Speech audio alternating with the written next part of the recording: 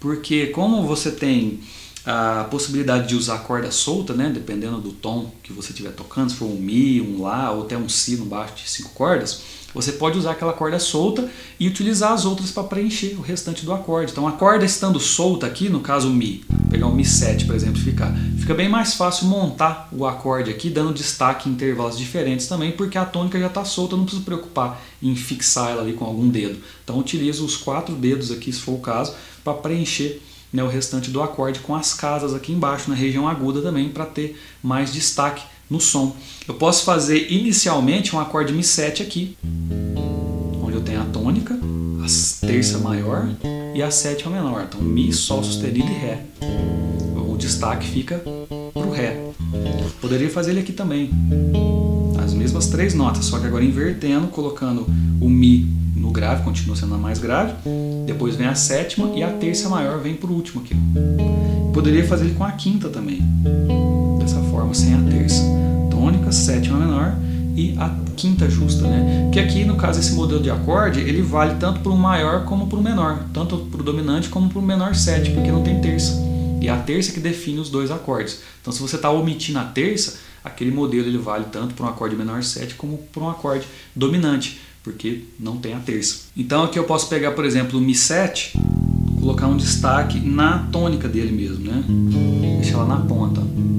Então posso pegar terça maior aqui o Sol sustenido, o Ré aqui a sétima menor, tem que estar presente no acorde, né, que é o que caracteriza ele, e dando um destaque na oitava. Vezes se a melodia estiver na tônica, eu poderia usar esse tipo de acorde aqui. Se a melodia vai para terça, o que, que eu posso fazer? tônica, aqui eu tenho a quinta, o Si, a sétima menor, o Ré, e o Sol sustenido, a terça maior, que é o destaque agora desse modelo de acorde. Aí eu poderia também colocar aqui, fixar ele na casa, porque eu vou fazer uma pestana com esse dedo 1, fixando a tônica e a sétima menor também. Ó. As duas ao mesmo tempo. Ó quatro intervalos do acorde aqui, a tônica, a terça, a quinta e a sétima. Aqui eu posso colocar um destaque na quinta agora. Ó. Posso colocar aqui o misão de novo solto. Tem a sétima menor, o Ré, a terça maior, que é o Sol sustenido, e o Si, que é a quinta.